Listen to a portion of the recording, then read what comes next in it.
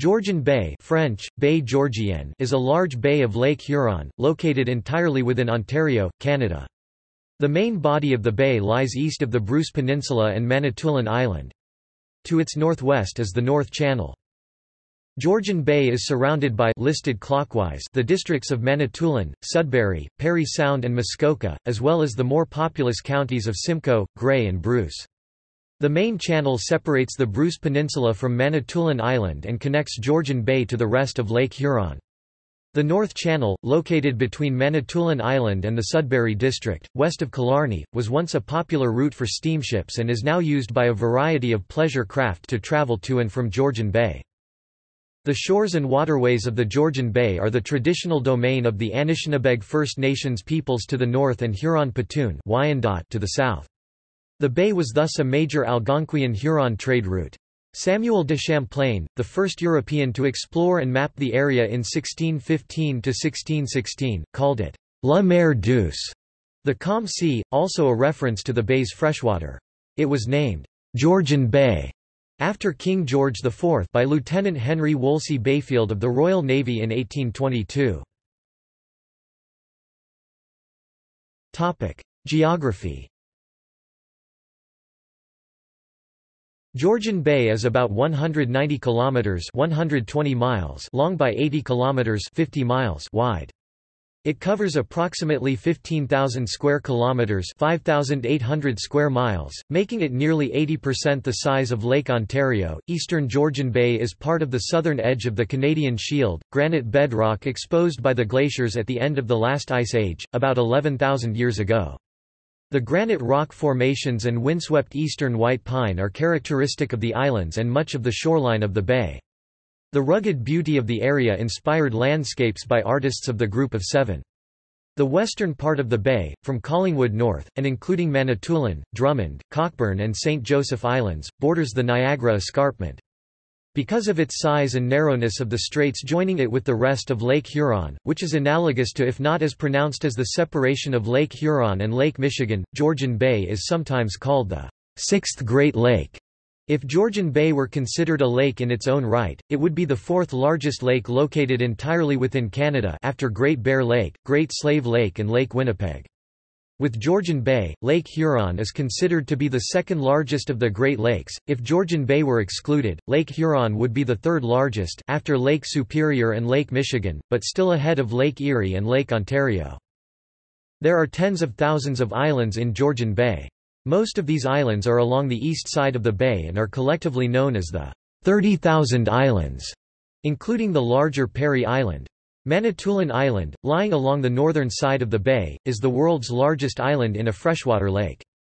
The Trent Severn Waterway connects Georgian Bay to Lake Ontario, running from Port Severn in the southeastern corner of Georgian Bay through Lake Simcoe into Lake Ontario near Trenton. Further north, Lake Nipissing drains into Georgian Bay through the French River. In October 2004, the Georgian Bay littoral was declared a biosphere reserve by UNESCO. History Archaeological records reveal an Aboriginal presence in the southern regions of the Canadian Shield dating from 11,000 years ago. Evidence of later Paleo-Indian settlements have been found on Manitoulin Island and near Killarney. At the time of European contact, the Ojibwe and Ottawa First Nations, both of whom call themselves Anishinaabe plural, Anishinabeg, lived along the northern, eastern and western shores of Georgian Bay. The Huron or Wendat and Tionontati inhabited the lands along the southern coast, having migrated from the northern shores of Lake Ontario.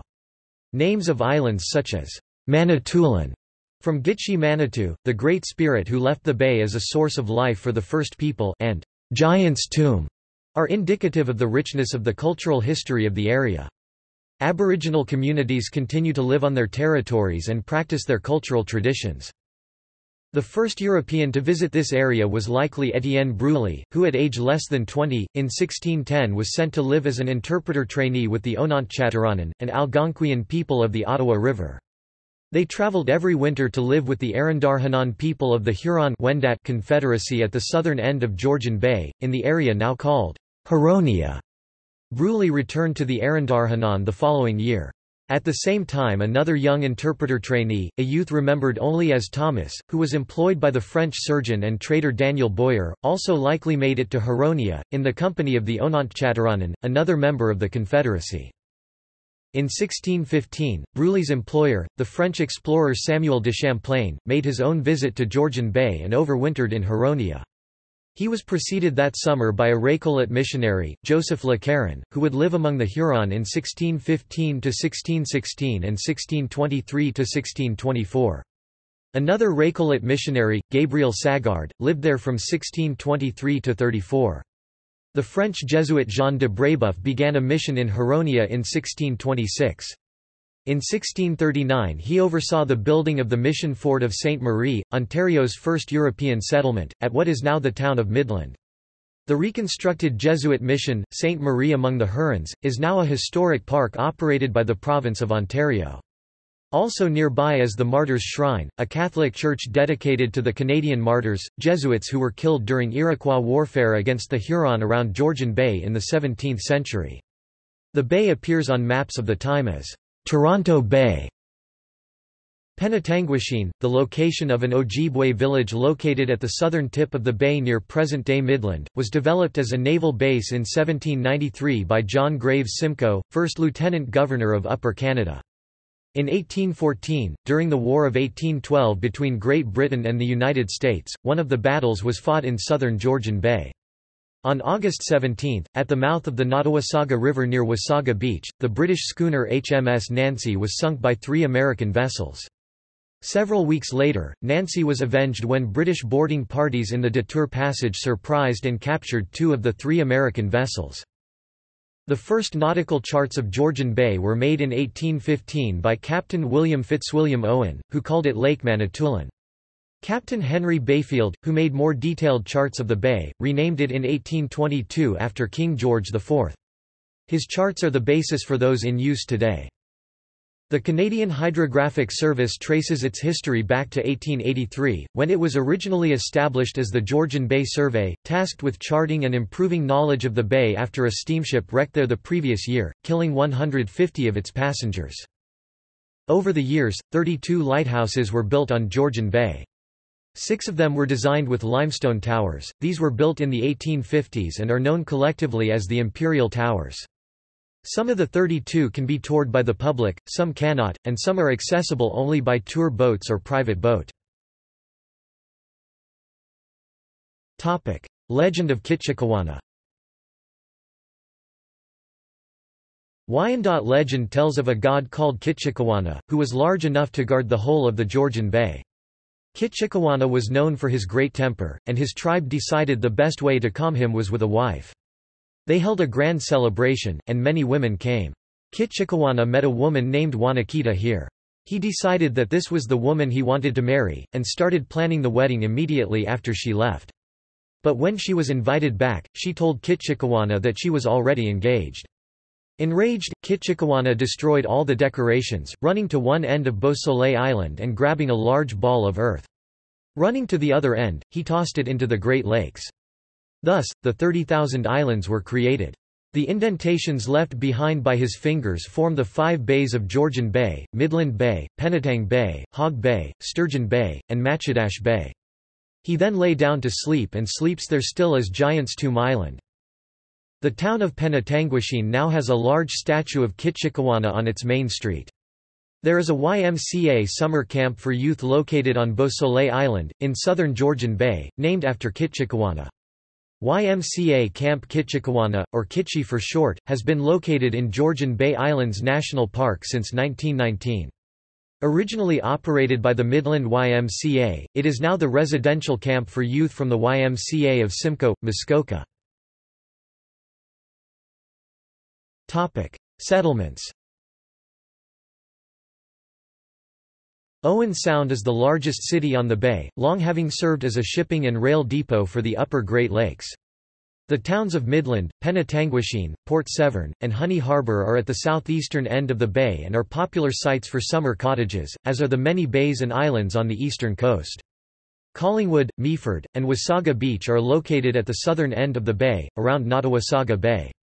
Owen Sound, Wiarton, and Lion's Head are located on the Bruce Peninsula along the southern and southwestern shores of the bay, while Tobermory is located at the northern tip of the Bruce Peninsula on the main channel. The passenger ferry MS Chi-Cheemaun travels from Tobermory across the main channel to South Baymouth on Manitoulin Island. Port McNicoll, the world's deepest freshwater port, is located on the eastern shore of the bay. There are communities of summer cottages on the north and east shore and on the adjacent 30,000 islands. These include areas such as Cognashene, Wah-Wah-Taysee, Sans Souci, Pointe au Baril and Byng Inlet. Most of these cottages are accessible only by water. See also Canadian Shield Christian Island Ontario Royal eponyms in Canada True North 2 Topic. References Notes Bibliography Historical Atlas of Canada, Volume 1, From the Beginning to 1800. Edited by R. Cole Harris.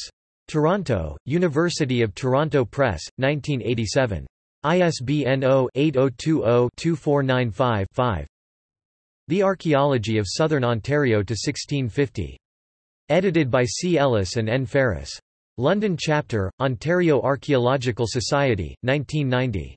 ISBN 0-919350-13-5 Native Languages of the Americas. Ojibwe History. Schultzman, L. 2000. First Nations Histories. Accessed, 28 March 2006. Shaped by the West Wind, Nature and History in Georgian Bay. Claire Elizabeth Campbell. Vancouver, University of British Columbia Press, 2005. ISBN 0-7748-1098-X External links Georgian Bay Encyclopædia Britannica. 11 11th ed., 1911. In English, in French Georgian Bay Islands National Park of Canada, on the Government of Canada site Georgian Bay Association Georgian Bay Forever Georgian Bay Land Trust Georgian Bay Biosphere Reserve